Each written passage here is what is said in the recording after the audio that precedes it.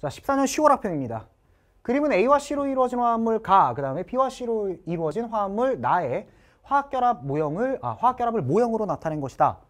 자, 이런 것들은 일단은 얘네들이 누군지 항상 잡고 가야 됩니다. 보아하니 얘 같은 경우는 플러스 이온인 거 보니까 바깥쪽에 원래 전자 하나가 있었나 보네요. 껍질 두 개, 바깥쪽 전자 하나. 아, 얘는 리튬일 거고요.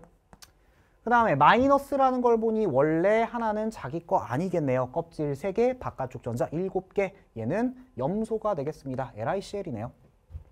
다음 나는 보니까 자 공유결합하고 있죠. 전자 하나는 얘 거, 하나는 얘 거. 자 그러면 얘는 지금 수소가 될 거야. 껍질 하나에 전자 하나니까. 그지? 그다음 요 녀석은 어때? 껍질 세 개에다가 바깥쪽 전자 일곱 개니까 CL이네요. 아 나는 뭐야? HCl 되겠죠?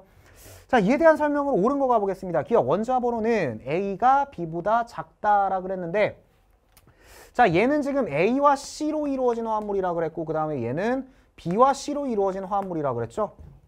그러면 공통적으로 있는 거는 지금 염소기 때문에 일단은 C가 염소가 될 거고요.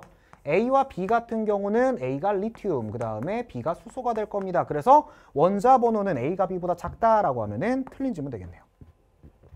자, 그 다음 니은에서 가는 액체 상태에서 전류가 흐른다라 그랬는데 금속과 비금속이니까 이온 결합 물질이죠. 이온 결합 물질이니까 액체 상태 또는 수용액 상태 전기 흐른다.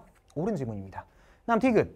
나에서 C는 옥텟 규칙 만족한다라 그랬는데 C는 염소죠. 염소는 옥텟 규칙 만족합니다. 수소가 못하는 거죠. 그지? 그러니까 만족한다. 옳은 질문 답은 4번 되겠습니다.